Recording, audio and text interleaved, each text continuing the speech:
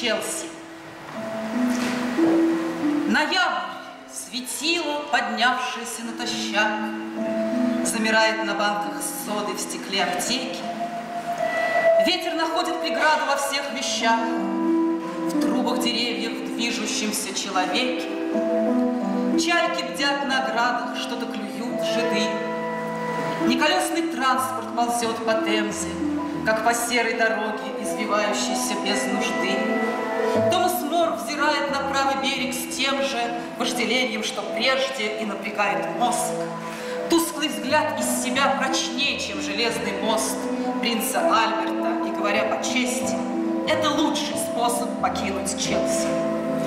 Бесконечная улица, делая резкий крюк, выбегает к реке, кончаясь железной стрелкой. Тело сыплет шаги на землю из мятых брюк, и деревья стоят точно в очереди за мелкой осетриной волн. Это все, на что Темза способна по части рыбы. Местный дождь запивает трубу Агриппы. Человек, способный взглянуть на сто лет вперед, узрит погуревший портик, который вывеска бар не портит.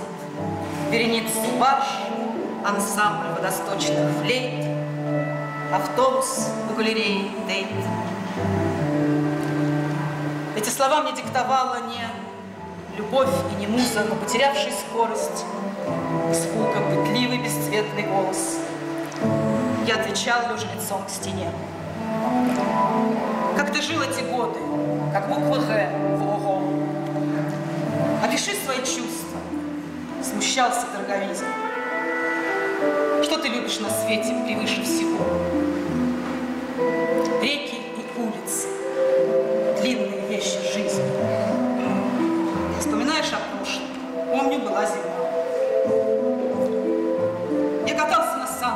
продуло. Ты боишься смерти? Нет, это та же тьма. Но привыкнув к ней, и различишь в стула. Воздух живет той жизнью, которой нам не дано уразуметь. Живет своей голубою, ветреной жизнью, начинаясь над головою и нигде не кончаясь. Взглянув в окно, видишь трубы и шпили, кровли ее свинец. Это начало большого сырого мира, где мостовая, которая нас вскормила, собой представляет его конец. Преждевременный прыщет рассвет, проезжает почта. Больше не во что верить, а притч того, что покуда есть правый берег у Темзы, есть левый берег у Темзы. Это благая весть. Город Лондон прекрасен, в нем всюду идут часы. Сердце может только отстать от большого Бена. Темз закатится к морю, разбухшая точно вена, и буксиры в Челси дерут басы. Город Лондон прекрасен, если не ввысь, то вширь.